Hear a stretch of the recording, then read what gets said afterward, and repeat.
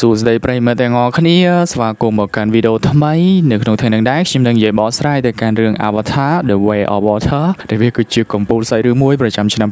2022មិនត្រឹមតែល្អមើលខ្លាំងនោះទេថែមទាំងអាចរកចំណូលបានច្រើនជាងគេឈរនៅក្នុងលំដាប់ថ្នាក់លេខ3នៅក្នុងចំណោមសាច់រឿងដែលរលួយបានច្រើនជាងគេនៅក្នុងពិភពលោករបស់យើងនិយាយតាមត្រង់ទៅបន្ទាប់ពីមើលសាច់រឿងនឹងចប់ដើរចេញពីរោងកុនមក admin មានអារម្មណ៍ថាស្កប់ស្កល់ពេញចិត្តជាមួយនឹងសាច់រឿងនឹងតែម្ដងហើយអត់មានស្ដាយលុយអីមិនតិចទេដោយសារតែវាល្អមើលខ្លាំងណាស់ហើយ admin ក៏ជឿជាក់ថាអ្នកនរគ្នាកំពុងតែរងចាំចង់មើលសាច់រឿងនឹងដូចគ្នាប៉ុន្តែនៅថ្ងៃមុននឹងសម្រាប់ចូលទៅកាន់សាច់រឿង admin សូមពឹងអ្នកនរគ្នាទៅជួយចុច subscribe ឲ្យ channel ខ្មែរ Drama Review Multiple របស់ admin មួយទៅដែល admin បានដាក់ link នៅក្នុង comment pin ខាងក្រោមនឹងហើយបើសិនអ្នកនរគ្នាចូលចិត្តមើលរឿង animation តុក្កតាអីហ្នឹងកុំភ្លេចទៅ subscribe ក្នុង channel នឹងម្នាក់មួយ admin បានផុសរឿងនៅក្នុងនឹងច្រើនគួរសមដែរហើយនឹងហើយកុំឲ្យខាត់ពេលវិញឆ្ងាយទៀតយើងចូលទៅកាន់សាច់រឿងរបស់យើងទាំងអស់គ្នា ដែលសេរឿងត្រូវបានចាប់ផ្ដើមបន្តជាមួយនឹងទស្សនភាពនៅក្នុងភព Pandora ដែលសត្វបាក់សាបាក់សៃហោះហើរយ៉ាងសប្បាយរីករាយគ្មានទុកគ្មានកង្វល់អីនោះទេន័យថារាដែលកំពុងតែពើពោះនៅក្នុងផ្ទៃជិតគ្រប់ខែហ្នឹងក៏បានដើរបបាញ់បបាញ់ហើយក៏បានត្រឡប់ទៅផ្ទះវិញរហូតដល់មួយរយៈក្រោយមកគេក៏បានបង្កើតចេញជាកូនទី1មកដែលគេគឺជាកូនប្រុសត្រូវបានចែកដាក់ឈ្មោះឲ្យថា Nethayam ហើយនឹងឯចែកក៏បានយកកូនប្រុសហ្នឹងទៅបង្ហាញឲ្យប្រជាជនជំនាញនឹងឃើញស្វាគមន៍អញ្ចឹងទៅហើយបន្ទាប់ពីហ្នឹងទៅបានមួយរយៈស្រាប់តែ Avatar របស់ Dr. Grace ដែលជាអ្នកវិទ្យាសាស្ត្រម្នាក់ចូលមកស្រាវជ្រាវក្នុងភព Pandora កាលពីរដូវកាលមុនហ្នឹងឥឡូវ Avatar របស់គាត់ដែលត្រូវបានគេដាក់នៅក្នុង chamber ហ្នឹងក៏បានបង្កើតចេញជាកូនមួយមិនដឹងថាឪពុកជាអ្នកណានោះទេដឹងត្រឹមតែថាគាត់បង្កើតចេញជាកូនស្រីនឹងម្នាក់ត្រូវបានចែកយកចិញ្ចឹមធ្វើជាកូនទី2មានឈ្មោះថា Kiri តមកទៀតចែកក៏បានបង្កើតចេញជាកូនទី3ដែលត្រូវបានគាត់ដាក់ឈ្មោះឲ្យថា Loak ហើយកូនប្រុសរបស់គាត់ហ្នឹងគឺមានឈ្មោះថាតុកតូចតែញែបញែបហ្នឹងជានឹងទៅទៀតចែកក៏មានកូនប្រុសចិញ្ចឹមម្នាក់ទៀតដែលមានឈ្មោះថា Spider Spider ហ្នឹងគឺជាកូនប្រុសមនុស្សរបស់យើងហើយគេនឹងក៏ត្រូវជាកូនប្រុសរបស់ Colonel Mal ដែលជាលោកមេបញ្ជាការម្នាក់ត្រូវបាន Nigeria បាញ់ស្លាប់កាលពីរដូវកាលមុនហ្នឹងហើយនឹងមូលហេតុដែល Spider ជាប់នៅក្នុងភព Pandora ហ្នឹងគឺដោយសារតែនៅពេលដែលពួកមនុស្សរបស់យើងធ្វើសង្គ្រាមចាញ់ពួក Navi ហ្នឹងក៏ត្រូវបាន Navi បញ្ជូនទៅផែនដីវិញប៉ុន្តែដោយសារតែ Spider នៅតូចខ្លាំងពេកអត់អាចឲ្យគេដាក់នៅក្នុង Cryo Capsule បញ្ជូនទៅវិញបាននោះទេយ៉ាងហើយក៏ត្រូវបានគេទុកនៅហ្នឹងខ្លាយទៅជាកូនចាំរបស់ Jack ចឹងទៅ Spider គឺជាក្មេងរពរពយរហ័សធូនម្នាក់ដែលចាត់ទុកខ្លួនឯងគឺជាពូជសាសនាវីមួយតែងតែទៅប្រឡែងលេងជាមួយនឹងកូនកូនរបស់ចែកយ៉ាងសប្បាយរីករាយហក់ជិះជាន់គ្នាយ៉ាងធម្មតា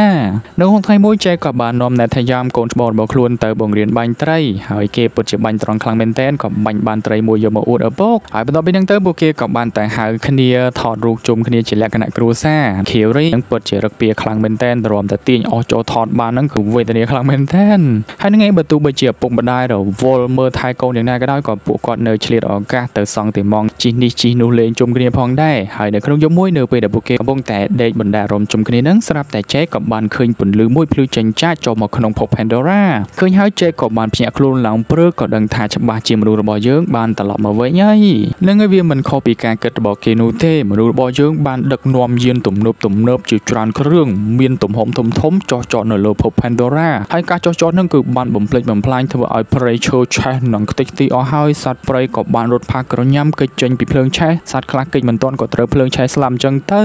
នឹងឯមនុស្សរបស់យើងក៏បានជិះយានចុះមកបន្តបន្ទាប់ចាប់ផ្ដើមបោះទីតាំងនៅក្នុងភព Pandora សាជាថ្មី Nataria ក៏បានសម្លឹងទៅមើលភាពបាត់បង់មួយនឹងទាំងហូរទឹកភ្នែកគិតថាបានសុខសាន្តជារឿយរហូតហើយប៉ុន្តែមនុស្សរបស់យើងនៅតែត្រឡប់មកបំផ្លិចបំផ្លាញនៅលើភពរបស់គេជាដដែលប៉ុន្តែយ៉ាងណាក៏ដោយពួកគេក៏អាចរស់នៅបានយ៉ាងសុខសាន្តគ្មានបញ្ហាអីនោះទេរហូតដល់មួយឆ្នាំក្រោយមកនៅក្នុងទីស្នាក់ការនៅលើទីអវកាសរបស់មនុស្សរបស់យើងនឹងស្រាប់តែអវតារម្នាក់របស់ Colonel Mal ក៏បានភ្ញាក់ឡើងភ្ញាក់ឡើងមកភ្លាមមិនដឹងអីនោះទេក៏បានវាយគេវាយឯងនឹងរញ៉េរញ៉ៃរហូតដល់កូនចៅរបស់គាត់ដែលមានឈ្មោះថា Lil រួមជាមួយនឹងអ្នកដតីទៀតមានដូចជា Z Dog Fake អីនឹងមករំលឹកឈ្មោះទៅប្រាប់គាត់ទើបគាត់ដឹងខ្លួនឡើងវិញថាគាត់គឺជា Colonel Mal ហើយក៏បានត្រជាក់ចិត្តត្រូវបានពួកនឹងសម្រួលអារម្មណ៍ឲ្យគាត់ឈើមើលរូបរាងខ្លួនឯងណាគាត់ពិតជារំភើបខ្លាំងមែនទែនដែលគាត់ឥឡូវហ្នឹងបានក្លាយទៅជា avatar របស់ពួក Navi ម្នាក់ដែរហើយតទៅនឹងគាត់ក៏បានទៅមើលវីដេអូរបស់មេបញ្ជាការ Mal ដែលបានថតទុកឲ្យគាត់ហ្នឹងដែលហ្នឹងហើយ memory របស់ Colonel Mal ត្រូវបានគេបញ្ចូលមកក្នុងខួរក្បាលរបស់គាត់ទាំងអស់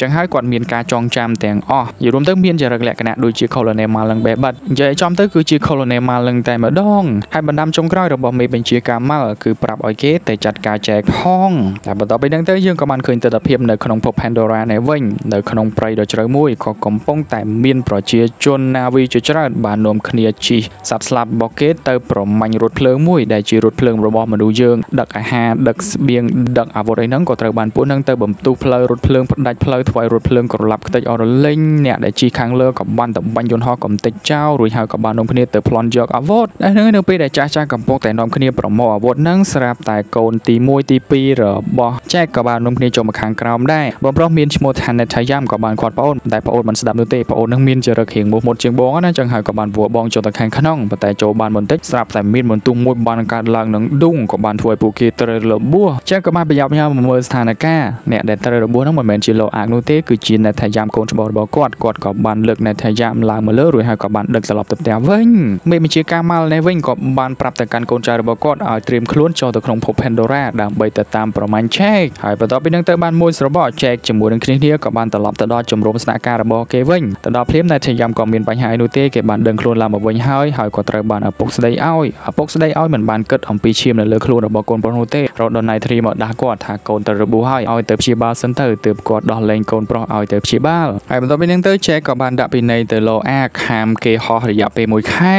ហើយបន្ទាប់ពីប្តីរៀងត្រជាក់ចិនតិចហើយនឹងណៃទ្រីនឹងក៏បានទៅជួបជាមួយនឹងចែកប្រាប់ចែកថាកុំធ្វើតឹងតែងបែបនឹងដាក់កូនពេកគឺជាកូនក៏ជាគ្រួសារហើយអ្វីធ្វើដាក់កូនកូនដូចជាក្រុមតាហ៊ានអញ្ចឹងតែចែកក៏បានប្រាប់ថាដោយសារតែគាត់ចង់រក្សាសុវត្ថិភាពឲ្យកូនកូនកុំឲ្យទុនជ្រាអញ្ចឹងណាបានជាគាត់ធ្វើបែបហ្នឹងដាក់កូនកូនតាមពិតទៅគាត់ក៏ស្រឡាញ់បារម្ភពីកូនដូចគ្នាហ្នឹងហើយបន្ទាប់ពីហ្នឹងទៅស្អែកឡើងក៏បានមកដល់ Spider ក៏បាននាំគ្នានេះរបស់គេមានដូចជា Kiri រួមជាមួយនឹងលោកអាងហ្នឹងចូលទៅក្នុង lab របស់មនុស្សរបស់យើង Kiri ក៏បានទៅមើល avatar ម្ដាយរបស់គេទៅអោបម្ដាយពីលើហើយក៏បានចាក់វីដេអូម្ដាយរបស់គេមើលមើលចូលមកឡើងទៅ Spider ក៏ sad ដោយសារតែគេគិតថាបើសិនជាអាចគេសូមអត់ស្គាល់ឪពុករបស់គេល្អជាង Kiri ក៏បានលួងគេថាគេមិនមែនអាក្រក់ដូចឪពុកនោះទេកុំគិតចឹងអីធ្វើតែខ្លួនឲ្យល្អទៅចង់ជាកូនឯណាក៏បានដែរក៏នៅនៅខាងក្រៅនេះវិញ Colonel Mal ក៏បានចូលមកដល់ខាងក្រោមហើយនៅពេលដែលចូលមកខាងក្រោមហ្នឹងគេក៏បានចូលទៅខាងក្នុងក៏បានទៅជួបជាមួយនឹងអ្នកស្រីឧត្តមស្នេហ៍ម្នាក់ដែលមានឈ្មោះថា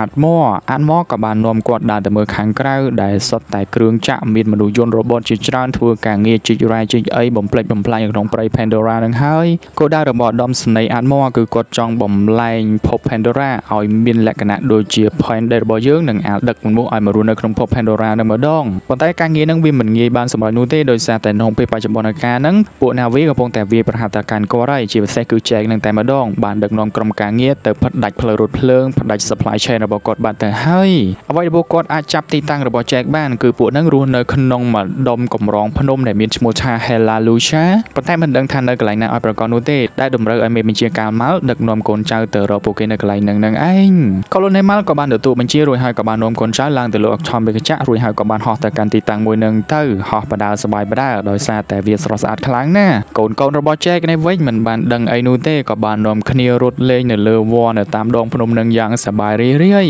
នៅក្នុងតំបន់ព្រៃនឹងគឺវាល្អស្រស់ស្អាតខ្លាំងមែនតែនមានផ្កាប្លែកប្លែកមានរុក្ខជាតិស្រស់បំព្រងគ្រីក៏បានទៅលេងជាមួយនឹងអាសត្វអីដែលមានលក្ខណៈដូចឆាតទៅអែដមីនមិនដឹងថាវាឈ្មោះអីនោះទេហើយបន្តមកទៀតគេក៏បានដេកលើស្មៅហើយដេកលើស្មៅនឹងក៏បានដេកលងលក់ភ្ជាប់ខ្លួនជាមួយនឹងធម្មជាតិនៅកន្លែងនឹងតែម្ដងមេបញ្ជាការម៉ាល់ជាមួយនឹងកូនចៅក៏បាននាំគ្នាចូលមកដើរល្បាតនៅជុំវិញបរិវេណមួយនឹងក៏បានជួបជាមួយវងចចកប៉ុន្តែចចកមិនវិបហាកូននោះទេពួកគាត់ក៏បានបន្តដំណើរទៅមុខទៀតខណៈដែល Kiri នេះវិញក៏បានលងលក់ហើយស្រាប់តែមានដង្ហើមមួយបានដកពីលើគេភឹបភឹបអញ្ចឹងណាដូចជាគេមានតំណែងតំណងអ្វីពិសេសជាមួយនឹងព្រៃនឹងអញ្ចឹងតែកំពុងតែដេកដេកនឹង Spider ក៏បានរំបណ្ដាគេរួចហើយក៏បាននាំគេត្រឡប់ទៅផ្ទះវិញប៉ុន្តែនៅពេលដែលពួកគេដើរទៅមុខបានបន្តិចនឹងស្រាប់តែបានប្រទះជាមួយនឹងដានជើងរបស់ពួក Avatar អ្នកនេះមានសុំនិយាយមយល់តិចដោយសារតែ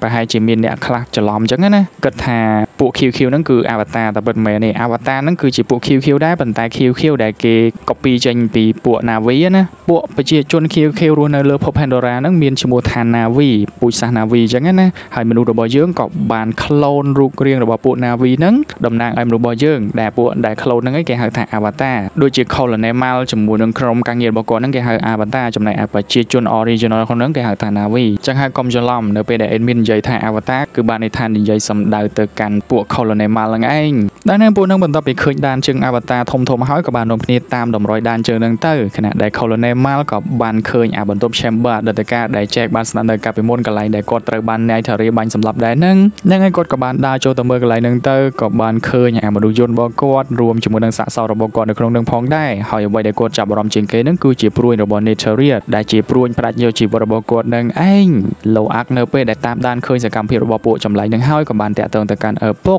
ឪពុកគ្រាន់តែលឺភ្លាមក៏ភ័យខ្លាំងមែនទែនក៏បានប្រាប់ឲ្យកូនកូននៅស្ងៀមស្ងៀមកុំធ្វើអ្វីទាំងអស់ហើយបន្ទាប់ពីហ្នឹងគាត់ជាមួយនឹង Neteria រួមជាមួយនឹង Netayam ហ្នឹងក៏បាននាំគ្នាហោះមកកាន់ទីតាំងមួយហ្នឹងប៉ុន្តែបន្តិចក្រោយមកស្រាប់តែក្រុមអវតារក៏បានឃើញពួកក្មេងៗទាំងអស់គ្នាហ្នឹងរួចហើយក៏បានតែចាប់ទុកបានចាប់ទុកបានហើយក៏បានភ្ជុំពួកគេជាប់រួចហើយក៏បានចាប់ពួកគេធ្វើជាចំណាត់ខ្មាំងបានទាំងអស់គ្នាអ្វីដែលម៉ាល់ចាប់អារម្មណ៍ជាងគេគឺម្រាមដៃរបស់កូនកូនទាំងអស់ហ្នឹងមានចំនួន5ជាយូរទៅពួកណាវីមានតែ4នោះទេប៉ុន្តែពួកនឹងមានដល់5ចឹងបានន័យថាពួកនឹងគឺជាកូនកាត់របស់ Jack នឹងឯងក៏សប្បាយចិត្តខ្លាំងមែនទែនរកអស់ប្រទេសឈើងាប់គេក៏បានទៅគម្រាមលោក X សួររកទីតាំងរបស់ពុកប៉ុន្តែលោក X មិនប្រាប់នោះទេ Kiri ក៏បានស្រែកជួយបងប្រុសប៉ុន្តែក៏ត្រូវបានគេមកចាប់ធ្វើបាប Kiri ម្ដងទៀត Spider ឃើញគេធ្វើបាប Kiri ក៏បានទៅតវ៉ាជួយ Kiri នៅពេលដែលម៉ាល់ឃើញ Spider ហើយក៏ឆ្ងល់ខ្លាំងមែនទែនចុះមិនក៏មនុស្សដើរលេងជាមួយនឹងពួក Navi ទៅវិញចឹងហើយនៅពេលដែលស៊ូនាំទៅក៏បានដឹងថាគេគឺជា Spider ត្រូវជាកូនរបស់គាត់នឹងឯងក៏បានសួរហេតុអ្វីបានជាមិនទៅផែនដី Spider ក៏បានបញ្យល់ទៅកាន់ឪពុកទៅតែគេនៅក្មេងខ្លាំងពេកចឹងហើយក៏បានជាប់នៅនឹងចឹងទៅបន្ទាប់ពីដឹងថាមានកូនរបស់ខ្លួននៅក្នុងចំណោមពួកនឹងហើយគេក៏បានប្រញាប់ញ៉ាល់តាក់ទងទៅកាន់អ្នកជីអធមិកយៈនៅខាងលើឲ្យត្រៀមខ្លួនយកគេផងពួកនឹងក៏បានហោះសង្កាំងដើម្បីត្រៀមយកគេពួកគេក៏បានធ្វើដំណើរទៅកាន់ទីតាំងណាត់ចឹងទៅប៉ុន្តែពេលហ្នឹងដែរឪពុកម្ដាយជាមួយបងប្រុសក៏បានមកដល់កន្លែងហ្នឹងនៅពេលដែលចុះចតនៅខាងលើហ្នឹងគេក៏បានប្រាប់ឲ្យ Nathaniel នៅយាមនៅកន្លែងហ្នឹងទៅកុំទៅអីក៏យ៉ាត់គ្រោះថ្នាក់ប៉ុន្តែ Nathaniel មិនព្រមនោះទេក៏បានលួចទៅតាមឪពុកតាមក្រោយហើយនៅពេលដែលថ្ងៃលិចងងឹតសូនឈឹងហ្នឹង Nigeria ជាមួយនឹង Che ក៏ចាប់ផ្ដើមប្រតិបត្តិការតែម្ដង Nigeria ក៏បានបន្លឺសម្លេងទៅកាន់កូនកូនកូនកូនក៏បានតបសម្លេងទៅកាន់ម្ដាយវិញ Jack នេះវិញក៏បានវាឆ្មក់កាប់បរិសម្នាក់ស្លាប់បានសម្រេចរួចហើយក៏បានបន្តទៅមុខទៀត Nigeria ក៏បានប្រើព្រួញបាញ់ក្បាលបរិសម្នាក់ដែលបានកាន់កូនកូនរបស់គេពួកនឹងក៏បានរួចខ្លួនហើយលោកអាក៏បានបំទុះក្របបែកផ្សែងខំដៃពួកនឹងរត់ចូលក្នុងព្រៃបានសម្រេចម្ដាយនឹងក៏បានបាញ់ព្រួញការពារកូនកូនកូនកូនក៏អាចរត់គេចចេញបានតែពេលហ្នឹងដែរម៉ាល់ក៏បានកលៃឃើញព្រួយរបស់ Nigeria ក៏ដឹងថាហ្នឹងហើយគឺជាឃាតករដែលបានសម្លាប់គេកាលពីអតីតកាលក៏បានស្រែកហៅ Nigeria ចេញមកប្រយុទ្ធជាមួយនឹងគេ Nigeria ក៏បានស្រែកថាបើសិនជាមិនអាចគេចបានគេនឹងសម្លាប់ម៉ាល់ម្ដងហើយម្ដងទៀតសម្លាប់ប្រមាណដងក៏គេទៅតែសម្លាប់ដែរប៉ុន្តែនៅពេលដែលភ្លេចភ្លេចខ្លួននឹងស្រាប់តែមានទាហានម្នាក់តម្រង់កំភ្លើងទៅកាន់ Nigeria ហើយបំរុងនឹងបាញ់ទៅហើយស្រាប់តែ Nathayam ក៏បានមកជួយម្ដាយតាន់ពេលតមកទៀតពួកគេក៏បានទាញកំភ្លើងបាញ់រះមកកាន់គ្រួសាររបស់ Jack Jack ក៏បាននាំកូនចៅរត់យ៉ាងវេទនារត់ផងបាញ់ការពារខ្លួនផងហើយពួកគេក៏បានប្រញាប់ញ៉ារត់ឡើងទៅលើដើមឈើណាឡើងចុះឡើងឡើង Colonel Mal ក៏បានបាញ់គ្រាប់ទូទាំងក៏បានធ្វើឲ្យ Spider រអិលធ្លាក់ចុះទៅខាងក្រោមបាត់ Kiri ក៏ចង់ទៅជួយដែរប៉ុន្តែក៏ត្រូវបានឪពុកម្ដាយចាប់គេចាញ់រួចហើយក៏បានបន្តដំណើរទៅមុខទៀតទៅតទៅពីនឹងទៅ Mal ក៏បានមកដល់ក្រោមដើមឈើហ្នឹងរួចហើយក៏បានឃើញ Spider ចឹងហើយដោយសារដឹងថា Spider គឺជាកូនក៏មិនទៅតាមពួក Navi ទៀតនោះទេក៏បាននាំគ្នាតាក់ទងទៅកាន់ពួកជីយន្តហោះខាងលើរួចហើយក៏បាននាំគ្នាហោះឡើងទៅលើយន្តហោះនឹងចាក់ចេញទៅទីតាំងដើមរបស់ពួកគេវិញទៅ Kiri នេះវិញក៏បានយំអាណិត Spider Spider មិនដឹងមិនមកនោះទេប៉ុន្តែក៏ត្រូវបានឪពុកលួងលោមរួចហើយក៏បាននាំគ្នាហោះត្រឡប់ទៅផ្ទះវិញទៅដល់ផ្ទះភ្លាមចែកជាមួយ Nigeria ក៏បានទាស់សម្ដីគ្នាដោយសារតែ Jack បានបបួល Nigeria រត់ចេញពីកន្លែងហ្នឹងដើម្បីសុវត្ថិភាពគ្រួសារប៉ុន្តែ Nigeria មិនព្រមនោះទេចង់ទៅតតាំងជាមួយនឹងពួកនឹងវិញតែ Jack ក៏បានប្រាប់ការពិតបើតតាំងជាមួយមនុស្សរបស់យើងគ្មានអ្វីក្រៅពីរោងវិនិស្សកម្មនោះទេដោយសារតែមនុស្សរបស់យើងគឺអញ្ចឹងហើយគឺដឹងតែបំផ្លាញគ្មានខ្វល់អីនោះទេមួយវិញទៀតដោយសារតែពួកនឹងគោលដៅរបស់គេគឺមករកគ្រួសាររបស់ Jack នឹងឯងអញ្ចឹងហើយបើសិនជាពួកគេរត់ចេញពីកន្លែងហ្នឹងប្រកាសជាធ្វើឲ្យប្រជាជនទាំងអស់គ្នាសុខសាន្តហើយនិយាយចុះនិយាយឡើងទៅ Nigeria ក៏យល់ព្រមចំពោះគេក៏សម្រេចចិត្តថានឹងចាក់ចេញនៅក្នុងថ្ងៃស្អែកខណៈដែលនៅខាងក្រុមរបស់មនុស្សរបស់យើងឯនេះវិញពួកគេក៏បានចាប់ Spider ទៅដាក់បង្វិលក្បាលដើម្បីសួររកទីតាំងរបស់ Jack ប៉ុន្តែបង្វិលរហូតដល់គេឈាមច្រមុះទៅហើយក៏ Spider មិនព្រមប្រាប់នោះដែរមកឃើញកូនប្រុសឈាមច្រមុះទៅហើយក៏បានចុចម៉ាស៊ីននឹងបាញ់ឈប់បើសិនជាបន្តទៀតគេប្រកាសជាស្លាប់ហើយចឹងហើយគេក៏បានស្នើសុំទៅកាន់ឧត្តមសេនីយ៍ម្នាក់ហ្នឹងទុកឲ្យគេចរចាជាមួយនឹង Spider រួចហើយក៏បាននាំ Spider ចូលទៅក្នុងបន្ទប់សម្រាប់ព្យាយាមតំណាក់តំណងជាមួយនឹង Spider យកខ្សែកឪពុករបស់ Spider ឲ្យគេទៀតផងតែ Spider ក៏បានក្បត់ចោលក៏គាត់មិនខ្វល់នោះដែរក៏បាននិយាយសម្រួលរហូតដល់ Spider ទៅចាក់ចិត្តជាមួយនឹងគាត់ហើយចុងក្រោយហ្នឹងក៏បានបួ Spider ជាយន្តហោះដើរលេង Spider ក៏យល់ព្រមជាមួយនឹងគាត់តទៅពីនឹងទៅស្អែកឡើងក៏បានមកដល់ Jack ក៏សម្រេចចិត្តថាចាក់ចែងនៅក្នុងព្រឹកហ្នឹងហើយចឹងហើយគេក៏បានរៀបចំពិធីផ្ទេរតំណែងដោយបានយកតំណែងជាមេភូមិមួយហ្នឹងទៅឲ្យថាសានមិត្តភ័ក្តិរបស់គេជាអ្នកគ្រប់គ្រងម្ដងហើយបន្ទាប់ពីរៀបចំពិធីហ្នឹងហើយគេក៏បាននាំកូនចៅរបស់គេចាក់ចេញទាំងហូរទឹកភ្នែកហ្នឹងហើយពួកគេក៏បានជិះសត្វស្លាបនឹងហោះទៅកាន់ផ្ទៃទឹកសមុទ្រកាត់ព្យុះកាត់ភ្លៀងជាច្រើនថ្ងៃរហូតទៅដល់ទឹកដីរបស់ពូជសាសន៍មួយក្រុមទៀតដែលគេហៅថា Sea Clan ពូជសាសន៍រស់នៅក្នុងសមុទ្រហ្នឹងដែលពួកនឹងរស់នៅយ៉ាងសុខសាន្តជាមួយនឹងរបងឈើការពារទឹកសមុទ្រដ៏ស្រស់បំព្រងស្រស់ស្អាតខ្លាំងមួយហើយភូមិរបស់ពួកគេហ្នឹងគឺបានបោះទីតាំងនៅក្នុងរបងព្រៃឈើកោងកាងនឹងឯងសូមហៅថាព្រៃកោងកាងទៅដោយសារមានលក្ខណៈដូចព្រៃកោងកាងចឹងគ្រាន់តែវាធំធំដែលនៅក្នុងតំបន់ហ្នឹងគឺមានប្រជាជនរស់នៅយ៉ាងកកកគ្មានបញ្ហាអីនោះទេម្នាក់ម្នាក់ចេះធ្វើនេសាទរស់នៅជុំគ្នាយ៉ាងចុះសម្រុងហើយចែកជាមួយគ្រួសារក៏បាននាំគ្នាចុះចតមកកន្លែងហ្នឹងគ្រាន់តែចុះចតភ្លាមក៏ត្រូវបានប្រជាជនទាំងអស់គ្នាហ្នឹងមកចំរោមពាត់មើលគេតែម្ដងដោយសារតែផ្លែយោពួកនឹងខៀវខៀវពួកនឹងវិញពណ៌ដូចទឹកសមុទ្រចឹងហើយក៏បាននាំគ្នាមកមើលសោយទៅកាន់កន្ទុយដែលមើលទៅតូចតូចអត់ធំដូចជាពួកគេនោះទេបន្តិចក្រោយមកក៏មានស្រីស្អាតម្នាក់ផុសចេញពីក្នុងទឹកដែលម្នាក់នឹងមានឈ្មោះថាស៊ីរ៉ាយ៉ាក៏ធ្វើឲ្យលោកអាងលួចសម្លឹងមើលគេទាំងចាប់អារម្មណ៍ហើយនឹងឯបន្តិចក្រោយមកស្ដេចកន្ទ្រៀងដែលមានឈ្មោះថាថូណូវ៉ារីក៏បានជិះក្រពើមកជួបជាមួយនឹងឆែកអ្នកទាំងគ្នាអាសត្វមួយនឹងអេដមីនសុំហៅវាថាកាពើហោះណាដោយសារវាចេះហោះហើយមានលក្ខណៈដូចកាពើដែលនឹងឯថូណូវ៉ារីគឺត្រូវជាមេភូមិឬក៏ស្ដេចនៅក្នុងទឹកដីសមុទ្រហ្នឹងហើយពូជសាសសមុទ្រហ្នឹងមានឈ្មោះថាមេតខាយីណា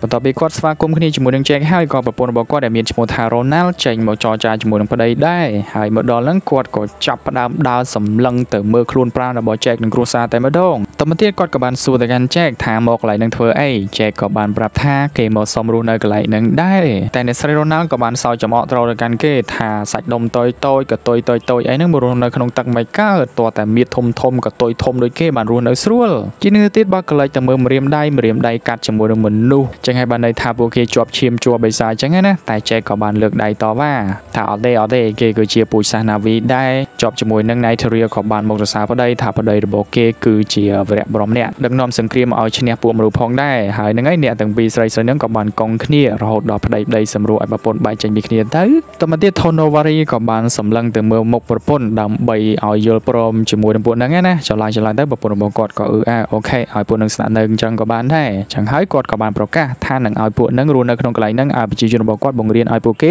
រស់នៅលក្ខណៈដូចជាពូជសាសន៍នៅក្នុងទឹកនឹងផងកុំឲ្យអត់ប្រយោជន៍ខ្លាំងពេកជាក៏បានអរគុណទៅកាន់គាត់ហើយបន្តមកទៀតគាត់ក៏បានប្រាប់ឲ្យកូនស្រីរបស់គាត់មានឈ្មោះថាស៊ីរ៉ាយ៉ាជាមួយនឹងកូនប្រុសរបស់គាត់មានឈ្មោះថាអូននងនឹងឲ្យបង្រៀនគ្រួសារមួយនឹងឲ្យចេះរស់នៅក្នុងទឹកនឹងផងហើយនេះបន្ទាប់ពីហ្នឹងស៊ីរ៉ាយ៉ាក៏បាននាំពួកនឹងទៅកាន់ជំរំទៅហ្នឹងហើយជំរំរបស់គេគឺពិតជាតំណងតំណងខ្លាំងមែនទែនដូចជាក្រងចេញពីសរសៃសរាយអីមួយយ៉ាងដែលមានលក្ខណៈស្វិតអញ្ចឹងណាហ្នឹងហើយពួកគេក៏បានចូលទៅខាងក្នុងនឹងទៅរួចហើយក៏បានអង្គុយប្រជុំគ្នាជាលក្ខណៈគ្រួសារដើម្បីចាប់ផ្ដើមជីវិតថ្មីនៅក្នុងទឹកដីថ្មីមួយហ្នឹងហើយហ្នឹងហើយបន្ទាប់ពីហ្នឹងទៅល្ងាចឡើងក៏បានមកដល់ប្រជាជនទាំងអស់គ្នាក៏បាននាំគ្នាបងសំណាញ់នេសាទត្រីយកមកហូបអញ្ចឹងទៅចែកក៏បានហៅកូនកូនរបស់គេមកប្រដៅថាអ្វីដែលពួកគេត្រូវធ្វើគឺធ្វើអាកប្បកិរិយាឲ្យល្អតាមតែអាចធ្វើបានក៏មកញ៉ៃញ៉ៃកុំឆ្លោះជាមួយគេជាមួយឯងអញ្ចឹងណាតបពីយកអញ្ចឹងហើយធុកក៏បានសអពុកឲ្យគេត្រឡប់ទៅផ្ទះវិញទៅតែឪពុកក៏បានលួងកូនរួចហើយក៏ប្រាប់ឲ្យកូនកូនសន្យាជាមួយនឹងគ្នាថាគ្រួសារស៊ូលីត្រូវតែរស់នៅជុំគ្នាជារៀងរហូតកូនកូនក៏បានសន្យាជាមួយនឹងឪពុកអញ្ចឹងទៅ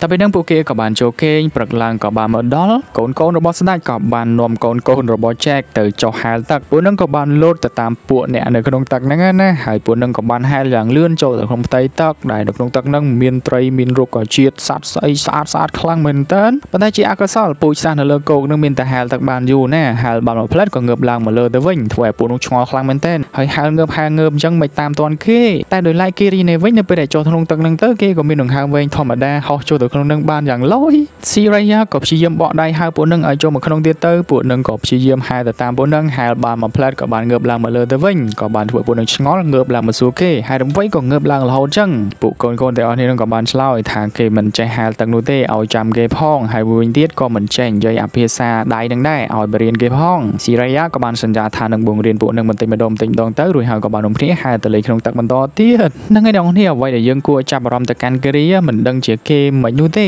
ការនៅលើកងនោះដូចជាមានតំណងជាមួយនឹងបាក់សាបាក់សីព្រៃព្រឹក្សានៅក្នុងកន្លែងហ្នឹងប៉ុន្តែនៅពេលដែលនៅក្នុងទឹកហ្នឹងក៏ដូចជាមានតំណងក្នុងទឹកអាចចូលក្នុងទឹកបានយូរអញ្ចឹងណាសរុបពេលជាមួយគ្នានឹងដែរ Colonel Mal ក៏បាននាំ Spider ឡើងទៅលើយន្តហោះរួចហើយក៏បានហោះទៅលេងនៅក្នុងភូមិរបស់ពួក Navi នៅពេលដែលដល់ទីតាំងហើយពួកគេក៏បានចូលចត ម៉ាល់ក៏បានប្រាប់ទៅកាន់កូនចៅថាបន្ទាប់ពីថ្ងៃហ្នឹងទៅពួកគេនឹងនិយាយភាសា Navi ធ្វើអាកប្បកិរិយាដូចជា Navi ទាំងអស់គ្នាបើសិនជាមិនធ្វើអញ្ចឹងនោះទេចូលចំណោមពួក Navi មិនចូលនោះទេ Spider លើ Mal និយាយអញ្ចឹងហើយក៏បានសោចដោយសារនិយាយឆ្កងចឹងណាអញ្ចឹងហើយ Mal ក៏សម្រេចចិត្តថាយក Spider ធ្វើជាអ្នកបកប្រែគាត់តែម្ដងទៅខណៈនៅក្នុងផ្ទៃទឹកឯនេះវិញពួកពួកអ្នកបង្រៀននឹងក៏បានហៅសត្វមួយក្បាលដែលមានឈ្មោះថាអេលូដើម្បីឲ្យពួកគេរើសយកម្នាក់មួយនិងអាលរៀនជិះជុំគ្នាហើយនឹងឯងគេក៏បានឲ្យលោកអាក់សាក់មុនគេលោកអាក់ក៏បានយកសក់ភ្ជាប់ជាមួយនឹងព្រុយរបស់វាទៅហើយក៏បានពាក់ព័ន្ធមួយគ្នាប៉ុន្តែដោយសារតែគេភ័យនៅពេលហាលនឹងហាលមានតែកើតណាហាលបានមកផ្លែតក៏បានរបូតឆ្លក់ទឹកពួកនឹងក៏បានសើចមកទៅកាន់លោកអាក់នឹងព្រាតពុកនេះវិញក៏បានរៀនដែរប៉ុន្តែមិនរៀនជាអាសត្វលីវនោះទេក៏បានជាអាសត្វកពើហោះដែលត្រូវបានគេដាក់រាសនាមឲ្យថា Warrior Mount នឹងហើយបើទោះបីជា Tonowari ប្រាប់គេថាជាអាសត្វធម្មតាសិនក៏ដោយក៏អត់ទេគេថាជិះហ្នឹងហ្មងទៅវាខ្លាំងនឹងហើយមានណាក្នុងពេលដែលគេចាប់ផ្ដើមជិះទៅជិះមានកើតណាហោះហោះនៅពេលដែលលោតចុះក្នុងទឹកក៏បានរបូតឆ្លក់ទឹកត្រូវបានគេសោចំអព្រាតដែរទៅដោយឡែកគីរីនេះវិញគេនៅតែបន្តមុជទឹកជំរឿនឹងដដែលហើយនៅពេលដែលគេកំពុងតែមុជមុជទឹកហ្នឹងស្រាប់តែអាសត្វអ៊ីលូមួយក៏បានមកជិតគេរួចហើយក៏បានប្រគល់ខ្លួនប្រានធ្វើជាយានជំនិះរបស់គេតែម្ដងធូកនេះវិញក៏បានទទួលអាសត្វអ៊ីលូនឹងមួយដែរបន្ទាប់ពីឲ្យចំណីវាហើយគេក៏បានភ្ជាប់សក់មួយគ្នារួចហើយក៏បានជិះលេងជាមួយនឹងស៊ីយ៉ៃរ៉ានៅក្នុងទឹកនឹងទៅតមកទៀតពួកគេក៏បានជុំគ្នានៅកន្លុកថ្មមួយរួចហើយក៏ចាប់ផ្ដើមរៀនដកដង្ហើមធ្វើមិនឲ្យដកដង្ហើមវែងណាហើយស៊ីយ៉ៃរ៉ាក៏បានយកដៃប៉ះខ្លួនរបស់លោកអាកប្រាប់គេថាដកមិនដកមិនតែលោកអាកនឹងក៏ចាប់ផ្ដើមបេះដូងលូតឌុកដាក់ឌុកដាក់ត្រូវបានស្រីស្អាតមកចិត្តណាក៏ត្រូវបានគ្រប់គេលួចសោយគេនឹងព្រាន Spider នេះវិញក៏បានដឹកនាំក្រុមការងារទៅជួបជាមួយនឹងពួកសត្វស្លាប់ដើម្បីពួកនឹងរើសពួកសត្វនឹងយកទៅជីម្នាក់មួយហើយនៅពេលដែល Colonel Mal ចង់យកថ្នាំស្លាប់បាញ់វាទៅហើយប៉ុន្តែក៏ត្រូវបាន Spider សោចថាកូនក្មេងតូចញាប់របស់ពួក Navi ក៏អាចចាប់វាបានដោយស្រួលនោះដែរលុះយ៉ាងណាគាត់ក៏ខ្លាចអន់ក៏សម្រេចចិត្តទៅចាប់វាដោយផ្ទាល់តែម្ដងក៏បានហក់ទៅចរចាជាមួយអាសត្វមួយក្បាលក៏ត្រូវអាសត្វនឹងដេញខំគាត់ក៏បានវាយតតាំងជាមួយវាហក់អបក៏វាជាប់តែមានណាក៏ត្រូវបានអាសត្វនឹងក៏ឡាប់កាប់ផ្ងាទម្លាក់គាត់ចូលទៅខាងក្រោមហើយពួកនឹងគឺថាអូចាប់បាត់ហើយចាប់ហើយគាត់ស្លាប់បាត់ហើយប៉ុន្តែមួយស្បកក្រោយមកគាត់ក៏បានហោះជិះនៅលើអានឹងត្រឡប់មកវិញស្រែកហូកញ្ជ្រៀវពួកនឹងក៏បានទៅចាប់សត្វនឹងម្នាក់មួយយកទៅជិះដែរទៅចែកនេះវិញក៏អាចជិះសត្វក្រពើហោនឹងបានសម្រេចហើយគេក៏អាចលោតហក់ចូលក្នុងទឹកបានយ៉ាងរលូនលែងរបូតដូចជាមុនទៀតហើយលោកអាក៏នៅតែបន្តរៀនដកដង្ហើមជាមួយនឹងស៊ីរ៉ាយ៉ារហូតដល់គេរៀងចេះដកបានខ្លាំងបន្តិចស៊ីរ៉ាយ៉ាក៏បានបោះសម្បកលាមួយចូលខាងក្រោមឲ្យគេហែទៅយកចុងក្រោយគេក៏អាចហែយកសម្បកលានឹងបានបានន័យថាដង្ហើមរបស់គេឥឡូវគឺវាវែងប្រសើរជាងមុនឆ្ងាយខ្លាំងណាស់តមកទៀតពួកគេក៏បានប្រជុំគ្នាហោះចូលទៅក្នុងទីជម្រៅហើយក៏បានទៅជួបជាមួយនឹងសត្វមួយយ៉ាងដែលដូចជាសារាយបន្តិចដូចជាអីបន្តិចហ្នឹងដែលសត្វហ្នឹងវាមានសមត្ថភាពនៅពេលដែលភ្ជាប់ខ្នងជាមួយមនុស្សហើយវាប្រកាសជាអាចជួយឲ្យមនុស្សរបស់យើងដកដង្ហើមក្នុងទឹកបានណាណាចឹងហើយគេក៏បានយកសត្វហ្នឹងមកពាក់បន្ទាប់ពីពាក់សត្វហ្នឹងហើយគីរីក៏បានប្រើស្នាដៃវេទមន្តទឹករបស់គេមិននោះទេអាចហៅត្រីភ្លើងមកលេងគេបានក៏បានធ្វើឲ្យអ្នកស្រីរ៉ូណាល់ឆ្ងល់ខ្លាំងមែនទែនចំកូននេះមានលក្ខណៈពិសេសខុសគេខុសឯងតមកទៀតពួកគេក៏បានហែឡើងទៅលើវិញប៉ុន្តែគីរីមិនហែចេញពីផ្ទៃទឹកនោះទេក៏បានបន្តជ្រមុជទឹករយៈនឹងសម្លឹងទៅកាន់រុនក្តាមនឹងហើយដល់ពេលសម្លឹងថ្លឹងហ្នឹងក៏ត្រូវបានកូនមេភូមិមកសោយចំអកថាគេហ្នឹងជាមនុស្សឈួតមែនមិនធ្វើប្លែកប្លែកអញ្ចឹង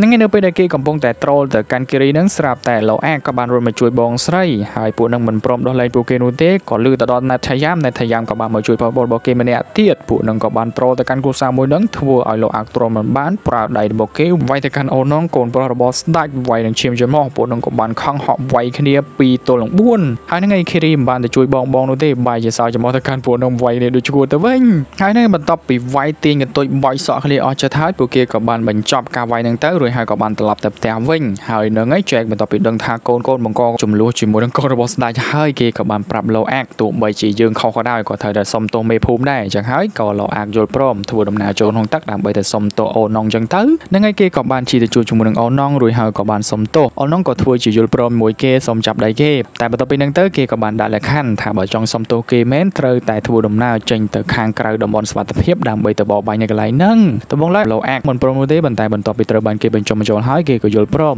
នាំគ្នាជិះចេញពីរបងការពារទឹករលកចេញទៅក្នុងផ្ទៃទឹករលកធំធំហ្នឹងទៅហើយនៅពេលដែលពួកគេទៅដល់តំបន់ទឹកស្ងប់មួយដែលមានភ្នំព័ទ្ធជុំវិញហ្នឹងក៏បាននាំគ្នាចុះចតកន្លែងហ្នឹងរហូតអស់នងក៏បានប្រាប់ទៅកាន់លោអាកឲ្យចូលទៅខាងក្រោមធ្វើសម្លេងហៅត្រីហើយពួកគេចាំបបាញ់ខាងក្រោមលោអាកក៏ជឿពួកហ្នឹងហោះចូលខាងក្រោមធ្វើសម្លេងអឺតអឺតហៅត្រីហើយថែមទាំងបានបាញ់បានត្រីមួយក្បាលទៀតផងប៉ុន្តែបន្ទាប់ពីបាញ់ហើយកន្លែងមកក្រោយស្រាប់តែពួកនឹងបាត់អស់រលីងធ្វើឲ្យគេឆ្ងល់ខ្លាំងមែនទែនក៏ហៅឡើងទៅលើស្រែហៅពួកនឹងប៉ុន្តែគ្មានការឆ្លើយតបនោះទេពេលហ្នឹងគេក៏ចាប់ផ្ដើមភ័យជានឹងទៅទៀតស្រាប់តែមានសត្វត្រីមួយក្បាលដែលមានលក្ខណៈដូចក្រពើនឹងក៏បានហក់មកដេញខំគេតែសត្វរបស់គេនឹងក៏បានលូតចេញពីទឹកគេចេញពីវាបានប៉ុន្តែលោកអាក៏បានរបូតចេញពីសត្វហ្នឹងសត្វហ្នឹងក៏បានហែគេចេញពីការប្រមាញ់ក៏ត្រូវបានអាសត្វក្រពើខំដាច់ស្លាប់មួយយាមហៀងប៉ុន្តែវាក៏អាចគេចផត់ហើយហ្នឹងហើយដោយសារតែហែដេញតាមអាសត្វតូចនឹងមិនទាន់អាសត្វក្រពើហ្នឹងក៏បានមកដេញខំលោកអាវិញលោកអាក៏បានរត់ពួននៅតាមថ្មសត្វនឹងក៏បានដេញខំគេបាក់ថ្មបាក់អីអស់ហើយតែយ៉ាងណាក៏ដោយលោកអាក់នៅតែបន្តរត់គេចចេញពីគេបានយ៉ាងលឿនចូលទៅពួននៅក្នុងកលៀតថ្មមួយប៉ុន្តែបើទោះបីជាកន្លែងនឹងសុវត្ថិភាពគេចចេញពីការខំរបស់ត្រីនឹងក៏ដោយតែគេក៏ចាប់ផ្ដើមស្ទះខ្យល់ដោយសារធ្វើការដកដង្ហើមណាចឹងហើយដោយសារទ្រាំមិនបានក៏សម្រេចចិត្តហែឡើងទៅលើតែហែទៅបានពាក់កណ្ដាលផ្លូវសត្វនឹងក៏បានឃើញគេក៏បានហក់មកខំគេហើយប៊ីនឹងខំបានទៅហើយស្របតែមានអាសត្វមួយធំខ្លាំងជាងអាសត្វនឹងទៀតក៏បានមកបុកវាសម្លាប់វាបាត់ទៅលោកអាក់នៅវិញដោយសារតែហែទៅលើទឹកមិនទាន់ចឹងហើយគេក៏បានលងតាត់សន្លប់នៅខាងក្រោមហើយមួយស្បក្រោយមកគេក៏បានភ្ញាក់ដឹងខ្លួនឡើងមកវិញក៏បានឃើញខ្លួនឯងដេកនៅលើថ្មមួយប៉ុន្តែមានណាថ្មនឹងក៏បានដកដង្ហើមបានន័យថាគេកំពុងតែដេកនៅលើខ្លួនត្រីមួយក្បាលដែលមានទំហំដូចភ្នំមួយអញ្ចឹងត្រីនឹងគឺជាពូជសាសមួយដែលត្រូវបានគេដាក់ឈ្មោះឲ្យថាធុលខូននិយាយទៅវាមានមាឌធំដូចជាត្រីបាឡែននៅក្នុងផែនដីរបស់យើងអញ្ចឹងណាប៉ុន្តែនៅក្នុងភព Pandora គេហៅថាធុលខូនមានលក្ខណៈខុសគ្នាពីត្រីបាឡែនរបស់យើងបន្តិចលោកអាចក៏បានចូលក្នុងទឹកអរគុណទៅកាន់ធុលខូនដែលបានជួយសង្គ្រោះគេហើយវាពិតជាអស្ចារ្យខ្លាំងមែនទែនសត្វមួយក្បាលនឹងក៏យល់ពីគេគ្រាន់តែលោកអាចមិនទាន់ចេះស្ដាប់ភាសារបស់វានោះទេតែពេលហ្នឹងសត្វមួយនឹងក៏បានសុំឲ្យលោកអាចជួយដោះដៃចេញពីដៃរបស់វាផងលោកអាចឃើញហើយពិតជាណិតខ្លាំងមែនទែនចឹងហើយក៏បានទៅមួលឡៅស៊ីមួអីដកដៃនឹងចេញពីវាបានសម្រេចហើយបន្ទាប់ពីជួយគ្នាទៅវិញទៅមកហើយពួកគេក៏សម្រេចចិត្តរាប់អានគ្នាធ្វើជាមិត្តហើយក៏បានលើកដៃទះគ្នាអាសត្វធំនឹងទះលោកអាចនឹងចង់ស្លាប់នៅក្នុងទឹកហើយបន្តមកទៀតក៏បាននឹងគ្នាហែលនៅក្នុងទឹកនឹងលេងហើយចុះហែលឡើងទៅលោកអាចក៏បានចាប់អារម្មណ៍ទៅកាន់ព្រួយមួយចំហៀងរបស់សត្វមួយនឹងដែលវាបានដាច់បាត់តាណាបាត់ទៅហើយគេក៏បានទៅបង្ហាញអំពីភាពសោកស្ដាយទៅកាន់សត្វធោខុនមួយក្បាលនឹងហើយបន្ទាប់ពីនឹងទៅយប់ឡើងក៏បានមកដល់ចែកក៏បានទៅជួបជាមួយនឹងគីរីដែលកំពុងតែអង្គុយសែតក៏បានសួរនាំគីរីទៅគីរីក៏បាននិយាយថាគេនឹក Spider ខ្លាំងណាស់ហើយមួយវិញទៀតគេក៏មានអារម្មណ៍ថាអេវ៉ាកំពុងតែតាក់ទងជាមួយគេផងដែរកំពុងតែនិយាយគ្នានឹង Net យ៉ាងក៏បានចាប់អូនងមកប្រាប់ឪពុករបស់គេថាអូនងបាននាំលោកអែកទៅបាត់នៅខាងក្រៅបាត់ទៅហើយគ្រាន់តែលឺចង់ភ្លាមគេក៏បានទៅជួបជាមួយនឹងមេភូមិដើម្បីទៅជួយរកលោកអែកចឹងណាប៉ុន្តែអ្វីដែលពួកគេមិនបានដឹងលោកអែកក៏ត្រូវបានធុលខុនមួយក្បាលនឹងនាំគេមកដល់តំបន់សុវត្ថិភាពហើយនៅពេលដែលឃើញអ្នកភូមិកំពុងតែប្រកាសអាសន្នហើយលោកអែកក៏បាននីអាសត្វមួយក្បាលនឹងរួចហើយក៏បានហែលទៅកាន់ភូមិរបស់គេវិញទៅនៅពេលដែលចូលទៅដល់លោកគោភ្លាមម្ដាយរបស់គេក៏បានរួមស្វាគមន៍បារម្ភពីកូនខ្លាំងមែនតានថាណូវ៉ារីក៏បានហៅអូនងមកសុំទោសកូនរបស់គេផងដែលខ្លួនឯងបានធ្វើខុសអញ្ចឹងណាប៉ុន្តែផ្ទុយទៅវិញបែរជាលោកអាក់សុំទោសជំនួយអូនងថាមិនជាកំណត់របស់អូនងនោះទេវាគឺជាកំណត់របស់គេឲ្យគេសុំទោសផងសុំទោសហើយក៏ត្រូវបានឪពុកនាំគេចេញពីកន្លែងនឹងបាត់ទៅចេញពីកន្លែងនឹងហើយឪពុកក៏បានបន្ទោសទៅកាន់លោកអាក់ម្ដងទៀតហើយថាបកកតែបញ្ហាសម្រាប់គាត់ម្ដងហើយម្ដងទៀតអញ្ចឹងណាតែបន្ទាប់ពីហ្នឹងកូនប្រុសក៏បានសុំទៅសម្រាតែគេមិនទៅសម្រានោះទេគេក៏បែរជាដើរទៅមាត់ទឹកក៏ត្រូវបានអូននងមកជួបជាមួយនឹងគេហើយក៏បានសួរគេថាហេតុអ្វីបានជាទទួលទោសជំនួសគេលោកអែកក៏បានប្រាប់ថាគេយល់អំពីអារម្មណ៍មួយហ្នឹងនៅពេលដែលត្រូវបានឪពុកបន្ទោសនៅពេលដែលត្រូវបានឪពុកខកចិត្តជាមួយអញ្ចឹងណាដែលរឿងមួយហ្នឹងហើយក៏បានធ្វើឲ្យនងចាប់អារម្មណ៍គេហើយក៏ចាប់ដើមរាប់អានគេដោយសុទ្ធតែចិត្តតែម្ដងតទៅពីហ្នឹងទៅព្រឹកឡើងក៏បានមកដល់ក្មេងៗទាំងអស់គ្នាហ្នឹងក៏បានទៅប្រជុំគ្នាជាមួយលោកអាក់លោកអាក់ក៏បាននិយាយអំពីសត្វធោខូនមួយក្បាលហ្នឹងទៅប្រាប់ពួកហ្នឹងទាំងអស់គ្នាថាវាដាច់ព្រួយអស់មួយចំហៀងគ្រាន់តែលើចង់ភ្លាមពួកកូនកូននៅកន្លែងហ្នឹងក៏បានស្រែកថាអាសត្វធោខូនមួយក្បាលហ្នឹងមានឈ្មោះថាផាយាខានដែលវាគឺជាសត្វត្រូវបានគេបំបោះបង់ចេញពីក្រុមដោយសារតែវាគឺជាឃាតករលោកអាចក៏បានតបថាថាមិនមែនជាឃាតករនោះទេគឺជាសត្វហ្នឹងឯងដែលបានជួយគេបើសិនជាគ្មានផាយាខាននោះទេប្រហែលជាគេស្លាប់បាត់ទៅហើយតែពួកនឹងមិនជឿគេនោះទេចឹងហើយលោកអាចក៏មិនបន្តនិយាយជាមួយនឹងពួកនឹងទៀតក៏បានលោតចូលក្នុងទឹកហែទៅរៀងទីជម្រៅស្រែកហៅផាយាខានមកជួបជាមួយនឹងគេផាយាខានក៏បានមកជួបជាមួយនឹងគេហើយលោកអាចក៏បានសួរគេថាតើហេតុអ្វីបានជាត្រូវបានគេដកចេញផាយាខានក៏បាននិយាយអំពីទុកសោរបស់គេប្រាប់ទៅកាន់លោកអាចរួចហើយក៏បាននាំលោកអាចហែលចូលក្នុងទឹកហោះចាប់ត្រីស៊ីប្រឡែងលេងជុំគ្នាលោកអាចរត់ពីលើខ្នងរបស់គេហើយក៏បានសុំគេឲ្យហែលលឿនគេក៏បានហែលលឿនថែមទាំងអាចលោតឡើងទៅលើផ្ទៃទឹកបានទៀតផងស្របពេលជាមួយគ្នានឹងដែរពួកកូនកូនទាំងអស់គ្នានឹងក៏បាននាំគិរីដើម្បីទៅជួបជាមួយនឹងដើមឈើស័ក្តិសិទ្ធិឬក៏ spirit tree របស់ភូមិរបស់គេដែលវាស្ថិតនៅក្នុងក្លុកមួយហើយជីទូទៅនៅពេលយប់ឡើងកន្លែងនឹងប្រកាសជាមានសម្រស់ស្អាតហើយហ្នឹងហើយនៅពេលដែលមេឃងងឹតកន្លែងនឹងក៏ចាប់ផ្ដើមភ្លឺចេញពីក្នុងទឹកមកដោយសារតែ spirit tree ហ្នឹងគឺវានៅខាងក្រោមហ្នឹងវាបានបញ្ចេញពន្លឺមកគិរីក៏បានចូលទៅជួបជាមួយនឹង spirit tree ដោយហើយក៏បានប្រើសក់របស់គេទៅភ្ជាប់ជាមួយនឹង spirit tree បន្តមកទៀតគេក៏បានភ្ជាប់តំណែងចូលទៅខាងក្នុង memory spirit tree ទៅជួបជាមួយម្ដាយរបស់គេ Dr. Grace ជួបម្ដាយក៏បានរត់ទៅអោបម្ដាយដោយសេចក្តីនឹករលឹកហើយគេក៏សួរសំណួរយ៉ាងច្រើនទៅកាន់ម្ដាយសំណួរដែលសំខាន់ជាងគេហ្នឹងគឺសួរថាតើឪពុករបស់គេគឺជាអ្នកណាដែរប៉ុន្តែសួរចឹងហើយម្ដាយមានតែបានឆ្លើយណាស្រាប់តែគេក៏បានប្រកាសមិត្តភ័ក្តិរបស់គេឃើញចឹងក៏បានដកគេចេញពីដើមឈើរួចហើយក៏បាននាំគេឡើងទៅលើ